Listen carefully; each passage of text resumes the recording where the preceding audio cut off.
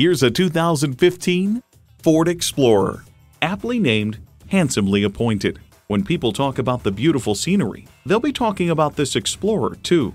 Features include automatic transmission, front heated leather bucket seats, external memory control, configurable instrument gauges, dual zone climate control, power heated mirrors, voice activation, aluminum wheels, remote engine start, and V6 engine.